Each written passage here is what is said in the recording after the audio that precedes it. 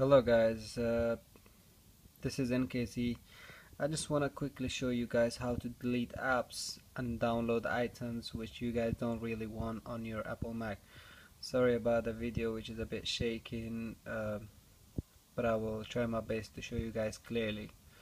So a lot of videos that I've been watching, uh, some of them are payable, some of them are a bit tricky.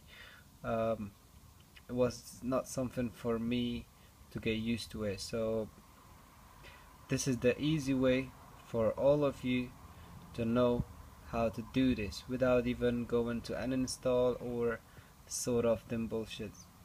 So first thing you see my mouse button. You go to the download part where it says download. You click that and you go right on top you see there 21 more in finder so you press that one.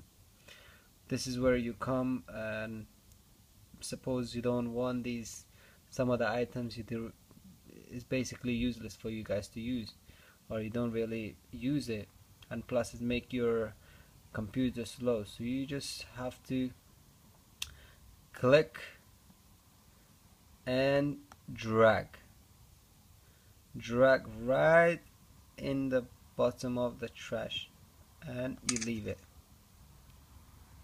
Same thing you do with the second one.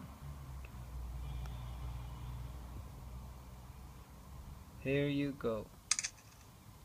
After you're done with all your apps you just press in here and right in here it says empty trash. So you just go into empty trash and that's it. You'll be fine with that.